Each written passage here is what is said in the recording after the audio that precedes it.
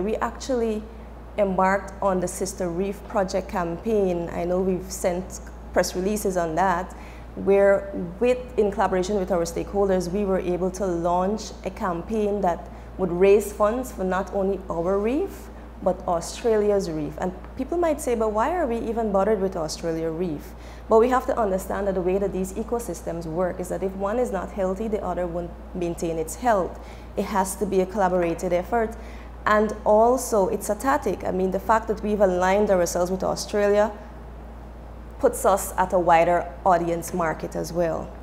So we've seen, we've done that in, the, in this first quarter, and we're we were excited at the fact that we were able to work with our stakeholders. They were willing to work with us to share prizes so that people can actually go on this website and bid to win a prize, whether it's a vacation stay, accommodation, a tour, a dinner, a boat ride, just to show all that Belize has to offer. And, and the thing about it is that when we looked at some of the engagement that we received from this, the stories that were generated, people were commenting that, you know what, this is such a good initiative. I don't even want to win a prize. I just want to give. I just want to donate.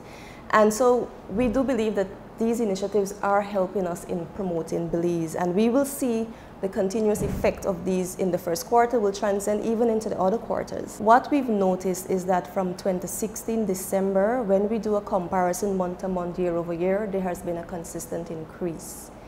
So while we have the slow season, yes, when we compare year to year over year growth, we are growing. We haven't seen a decline since December 2016. And prior to that, I think it was in June, from June 2015 until November 2016, then we had a 1% dip. And thereafter, we've never had a dip. Um, we've just seen continuous increases and growth.